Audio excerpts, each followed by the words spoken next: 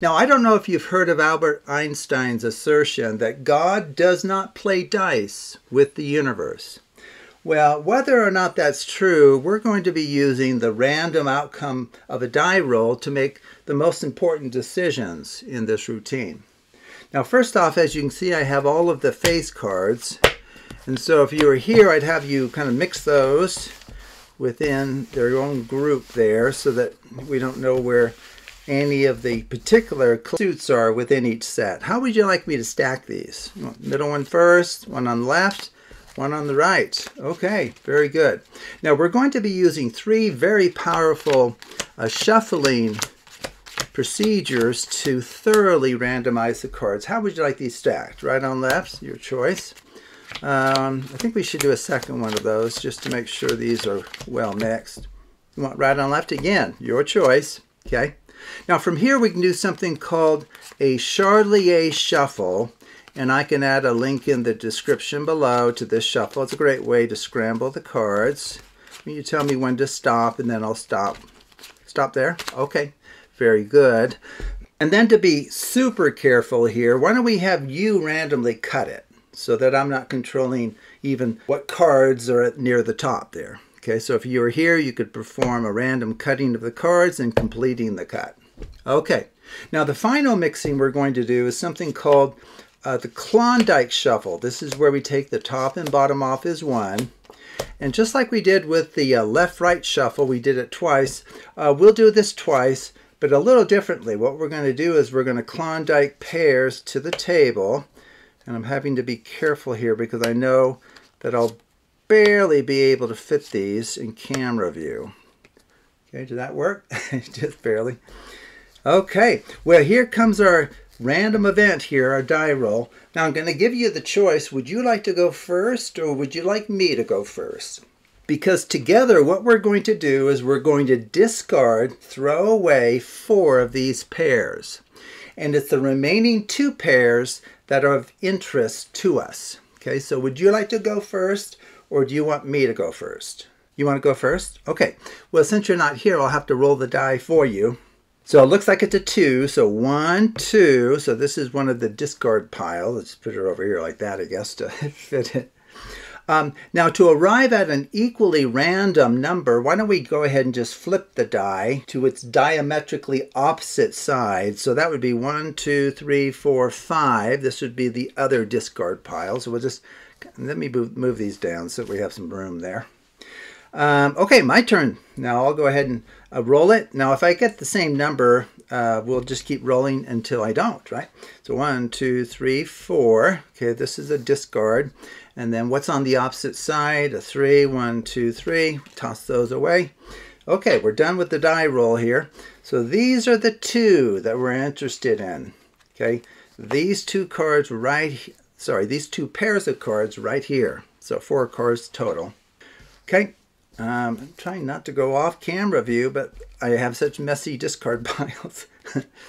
okay, well, um, let's take a look at what all of this random mixing and random decisions made by uh, you and by me, actually. Well, I should say random decisions made by the universe, come to think of it, because we both rolled a die to get the number of the pair that we would discard, and then we just discard the kind of complement of that. Okay, well, let's just take a look at whether there is evidence that God plays dice with the universe. Okay, well, we got a jack. That's kind of nice.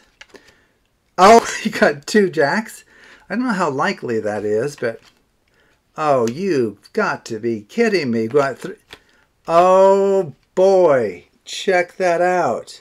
Now, you might be interested to know, because I'm just nerdy enough to calculate this, the probability of doing this among the face cards where you pull out four of them and have them all be of the same card value it's 1 over 165. So it's like having 165 little pieces of paper all rolled up. On one of those slips of paper, it says you win. All of the others are blank.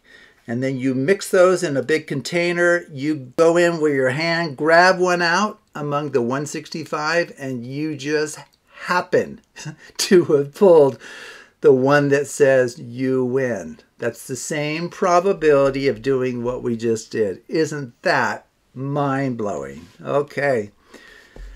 Okay, wow. Um, so if you just do what I did, this is going to work for you every time. Um, what's that? You're wondering what's in the other piles? Well, it's just, oh, take a look.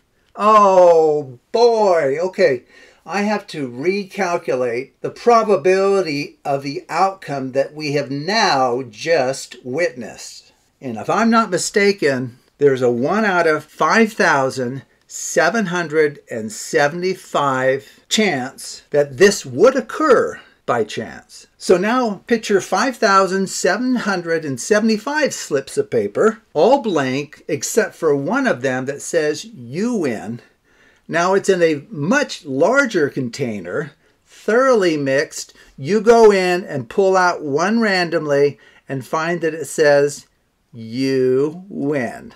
That's the same probability of accomplishing what we have just witnessed here today. That is unbelievable. Okay, so how does this work? Well, you just do everything that I did and it will work. There's no sleight of hand. Uh, you have these uh, three sets of face cards. You mix them, you stack them randomly. You perform two random left-right shuffles with random stacking. You perform a Klondike shuffle, and then you perform a Klondike dealing of pairs to the table. And then you roll the die, either one of you. And so whatever the die roll is, it tells you which position. And then the second pair to be removed, you find by just flipping it okay, which is now a 4 if the first roll was a 3. Um, remove those, discard those. Well, you'll find that they actually have the same card value. And then the other spectator rolls it again and maybe gets something different, a 1 and a 6 now. They will have the same card value, leaving you with a pair of cards of the same card value in the middle. Absolutely amazing.